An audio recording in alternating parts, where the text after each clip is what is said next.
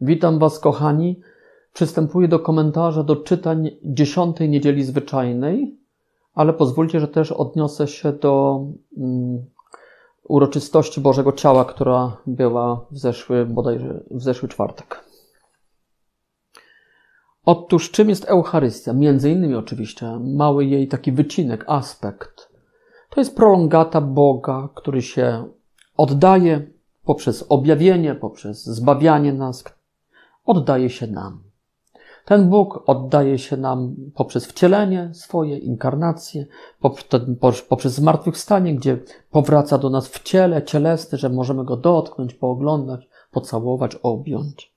No i On dla nas czyni swoje ciało na dwa sposoby. Ciało Boże, Boże ciało, ciało Chrystusa to jest w Nowym Testamencie Kościół. Dopiero potem będzie nazwa przeniesiona na, na Eucharystię, a na Kościół ciało mistyczne. Ale czy mistyczne, czy niemistyczne, to jest ciało Chrystusa, to jest ciało Boże. Kościół jest ciałem Bożym, instytucja. I grzechy tej instytucji to jest pod tego ciała. Smród tego ciała, ale ogólnie jest to ciało Boże. No i wreszcie Eucharystia. W tymże ciele Bożym, którym jest Kościół, jest Eucharystia, czyli, czyli nad, nad wszystko ciało Boże. Ciało Chrystusa, ciało Boga.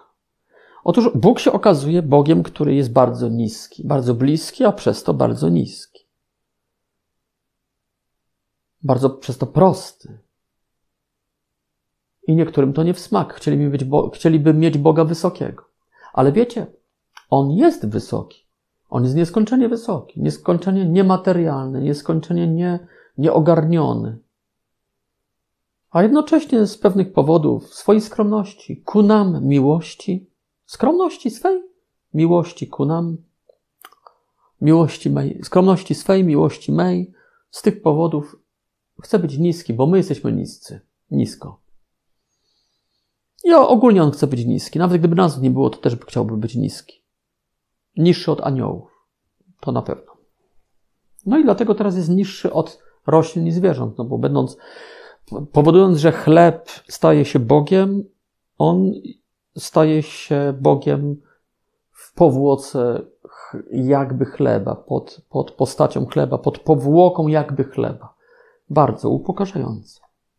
Bardzo proste. Ktoś by powiedział nawet błędnie prostackie. Ma to też jeszcze inny inne znaczenie, inny aspekt. Człowiek skromny, pogodny, nie zanadto wymagający, o, przyjmie takiego skromnego Boga, a człowiek taki on en nie przyjmie, wzgardzi. Taki gnostyk, spirytualista jakiś nie przyjmie. Czy to kościoła nie przyjmie z jego smrodem, czy to tego chleba nie przyjmie jako protestant? Czy to czegoś tam, czy to Boga człowieka nie przyjmie jako Żyd synagogalny? A więc jest to papierek lakmusowy, jest to sąd. Kto jest kto? Kto skromny, a kto nieskromny? Kto skromny, skromnego przyjmie? Prosty, prostego przyjmie z radością i odkryje w nim zupełnie nieprostego Boga i zupełnie nieskromnego Boga a nieskromny skromnego Boga, nieprosty prostego Boga nie przyjmie, a wzgardzi. No, tak jak Żydzi Chrystusem, tak jak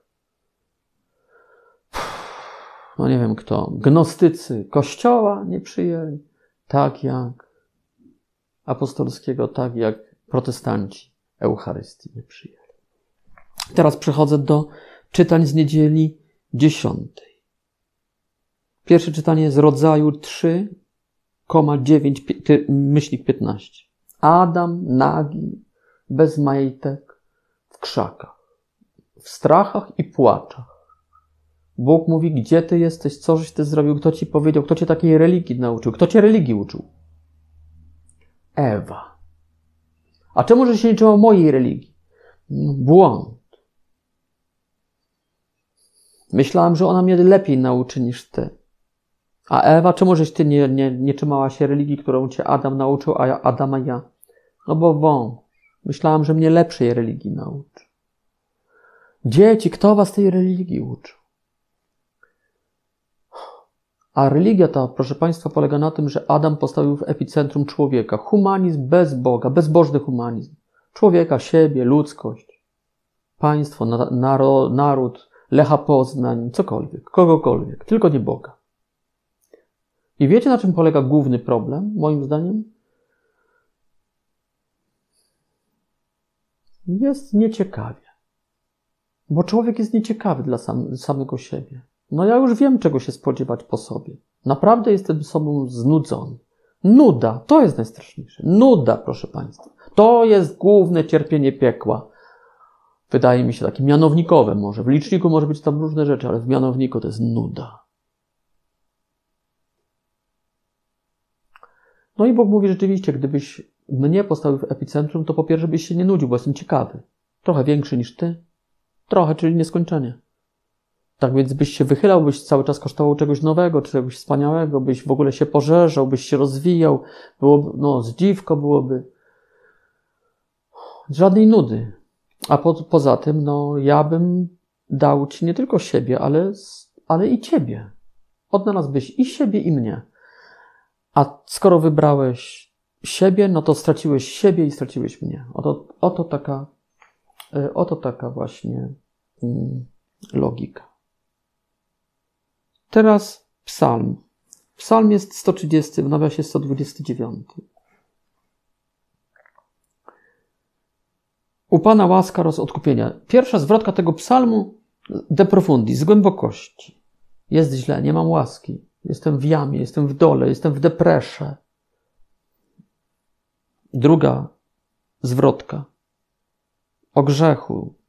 O grzechu i ewentualnie o przebaczeniu. Trzecia zwrotka nadzieja, Jego słowo, jakaś obietnica i oczekiwanie i tęsknota. Czwarta zwrotka? Łaska, odkupienie, odkupienie. A więc istnieje możliwość z jamy, z braku łaski, z pustki dojść do łaski, do pierwotnego stanu łaski, a nawet wyżej, pewnie, według szczodrości Boga. Trzeba tylko przyjąć od samego początku, już w tym grzechu, w tym upadku, trzeba przyjąć skromną łaskę, proszę Państwa.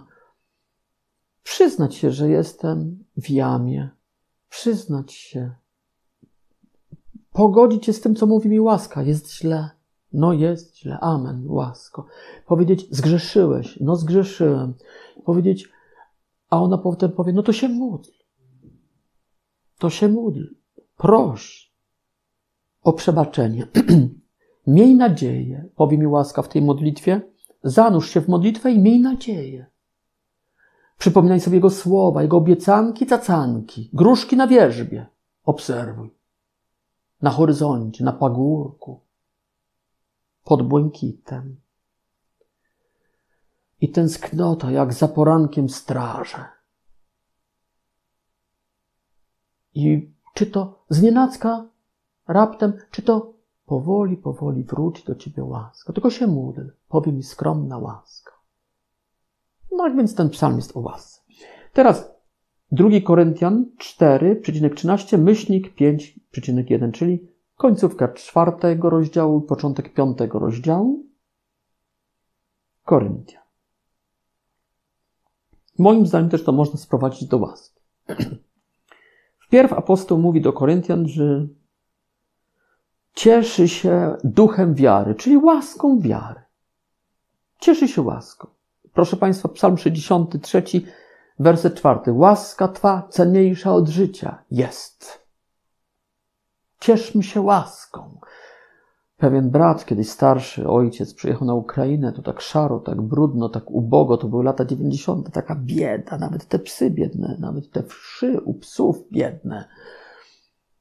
Ja mówię, jak się ojcu pomaga? A akurat nie było zielonej Ukrainy, tylko gdzieś tak listopad, wiecie, błota, bo tutaj ziemia żyzna, urodzajny, ten czarno, czarnoziem stepowy. Ale to, to błoto się robi z tego wszystko, bo to taka żyrna, taka tłusta ta ziemia. Wszędzie to błoto, ta bieda, ta, ta szarość taka i ci ludzie smutni. On, I mówię, jak się ojcu podoba na Ukrainie? On mówi, w tej całej brzydocie kontempluje piękno łaski No. Cieszmy się łaską wiary z apostołem. Następnie on mówi o, o łasce właśnie tej radości, tego dziękczynienia, że otrzymuje łaskę naprawdę radości i dziękczynienia. Potem mówi o łasce rozwoju i odnowy, że chociaż coś w nas marnieje, niszczeje, to coś się cały czas rozwija, odnawia. Wewnętrzny człowiek to życie nadprzyrodzone, życie łaski, od mniejszych do większych łask. I wreszcie mówi o kontemplacji tego, co niewidzialne, bo to, co widzialne, to mija, a to, co niewidzialne, to trwa. Ja myślałem, że na Ziemi z tych widzialnych rzeczy to trwałe są tylko Watykan i poznańs... poznańska, poznańscy pijacy. Teraz czasami mam wrażenie, że tylko poznańscy pijacy. Bo jak trwali z piwem w bramach, na pewnych ulicach w Poznaniu, tak dalej trwają, a Watykan się mocno zmienia. Mam nadzieję, że nie istotowo. No, ale dobra, wracajmy od polityki kościelnej, wracajmy jeszcze do, na koniec do tych, no więc właśnie, łaska, łaska, łaska, łaska.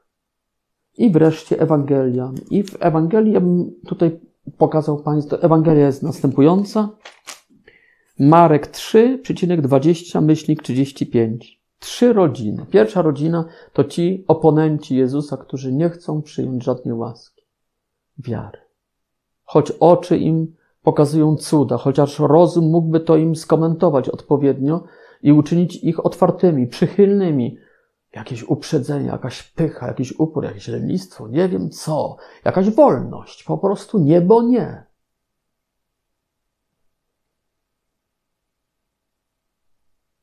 Człowiek decyduje, czy chce mieć łaskę, czy nie, nie Bóg. Grzech przeciwko duchowi. Człowiek decyduje, czy chce mieć łaskę, nie Bóg. Bóg jest gotów dać. A to człowiek, suma summarum, w końcu człowiek decyduje. Druga rodzina to są ci uczniowie, którzy siedzą, słuchają i są gotowi słuchać i wierzyć w sposób konsekwentny, jakby, jakby powiedział ksiądz Blachnicki. Wiara konsekwentna, efektywna. Nie spocznę, póki nie zastosuję. Rodzina Boga. No i posiadają łaskę. I w końcu trzecia rodzina, jeszcze która się nie zdeklarowała, niedefinitywna. Maryja przyprowadza braci, jakiś braci. Oto bracia czekają na dworze. O Maryi wiadomo, że jest w rodzinie Bożej, pełna łaski, łaski pełna, łaskiś pełna, ale tamci nie wiadomo. Będą decydować. Właśnie przyszli. W którą rodzinę wejdą? Albo w jedną, albo w drugą. Tertium non datur. Trzeciej możliwości nie ma. Dziękuję za uwagę.